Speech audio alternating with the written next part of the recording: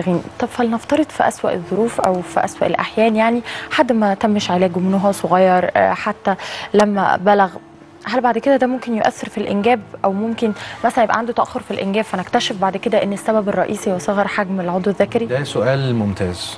آه، صغر العضو الذكري ممكن يؤثر في الإنجاب إذا كان درجة شديدة جدا جدا من صغر العضو الذكري. يعني لو لو درجة الصغر دي درجة كبيرة جدا هيمتنع أن يحصل علاقة طبيعية ما بين الزوج والزوجة والسائل المنوي غالبا هينزل بره المهبل وبالتالي مش هيحصل إنجاب. أوكي. دي نقطة.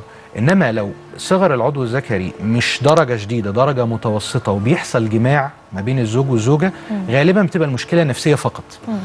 يعني آه في دراسات كتيرة اتعملت ولقوا إن مفيش علاقة آه قوية ما بين طول العضو الذكري ودرجة رضا الزوجة.